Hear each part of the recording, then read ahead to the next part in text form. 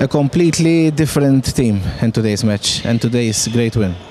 Yes, we meet uh, a team with uh, futsal level not so high like uh, Alumnus. We know it will be like this, but still we need to come on the pitch and play. And for me, it's very hard to motivate me, myself, and the team when I know the first place it's out of, of question. You know, we know we come today to play only for second place, but still we need to play for our name. We have a brand. We are a brand in Malta, so we need to to play to win the, the last game of the group. Apart from your capabilities and one of Andre and the ones of Andre who obviously are known with the Maltese futsal enthusiasts, today uh, we saw a very good Panzaru and a very good Tony Zafar. You knew them, but today they really uh, showed everyone what uh, talent they've got in futsal.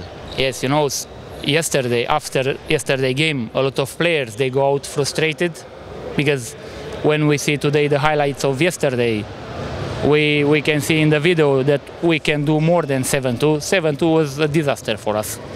But the game in reality wasn't like this. It was balanced, you know. And some players who play maybe a little bit bad yesterday, today they come to show everything. For this, Panzaru come very good, Tony come very good. Thank you, thank you very much.